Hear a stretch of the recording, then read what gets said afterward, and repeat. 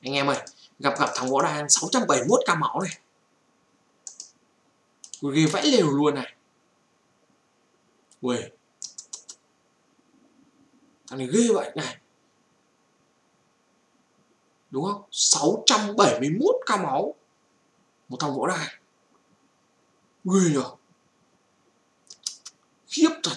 Thế thằng này danh hiệu phải cao lắm ấy. Danh hiệu và danh vọng phải cao lắm ấy. Kinh nhờ 4k này, con rồng 4k luôn này. Thằng này ghê vãi lều luôn thật.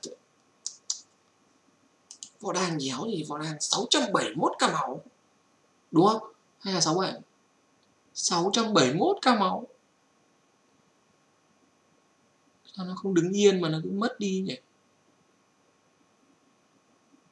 Đúng rồi 671 ca máu sợ trời rồi võ đan